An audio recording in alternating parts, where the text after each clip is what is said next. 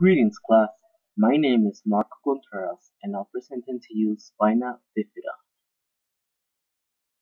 What is spina bifida?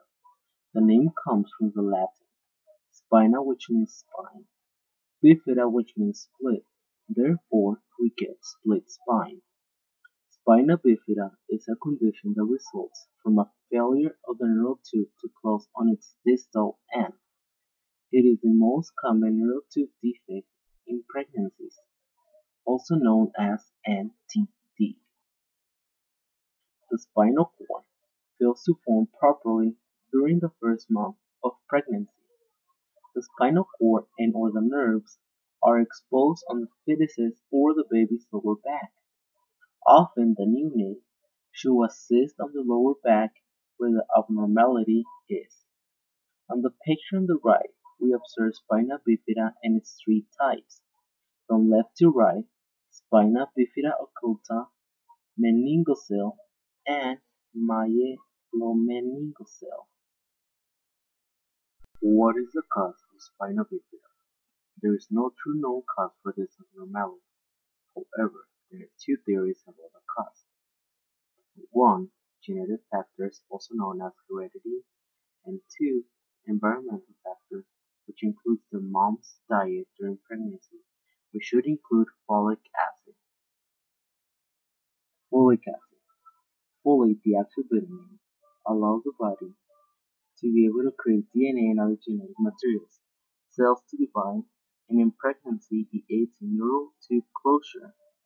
Women must take 400 micrograms prior to and on the first month of pregnancy in order to prevent spina bifida. Types of spina bifida. There are three known forms of spina bifida: spina bifida occulta, meningocele, and myelomeningocele. Spina bifida occulta is the most common, and out of a thousand births, one of them will have spina bifida.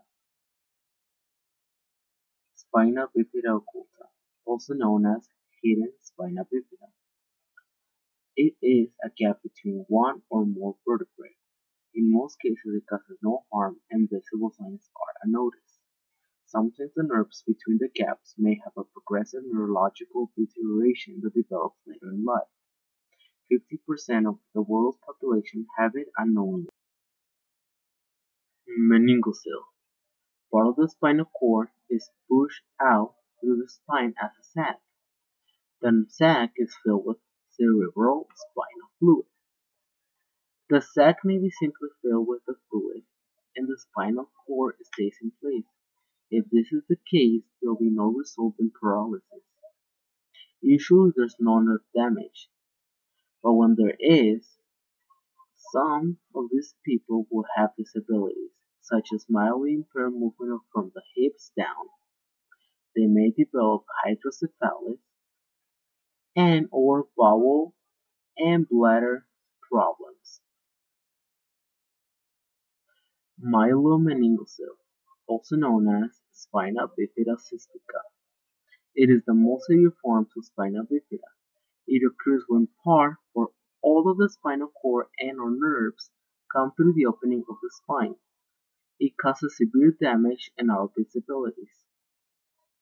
70 to 90% develop hydrocephalus because of Arnold-Chiari malformation, which is when the hindbrain extends, descends, or herniates into the spinal cavity where blocks cerebrospinal fluid drainage and its circulation.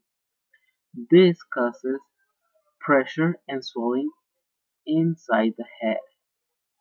Any nerve damage done by parturition will be permanent.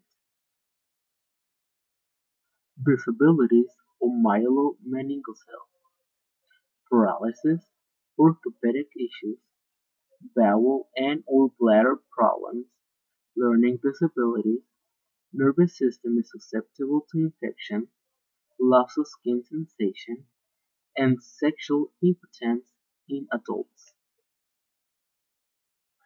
Diagnosis In utero, it is diagnosed through an ultrasound or an amniocentesis. In adults, it is found via x-rays. This is because the patient may go to get an X-ray for other reasons in their vertebrae and they find that they have spina bifida occulta.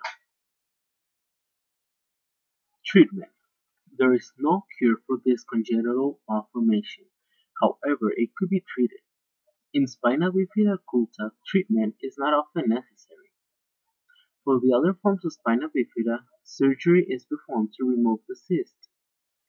In myelomeningocele, surgery must be performed within the first day of parturition to prevent any more damage to the neural tissues.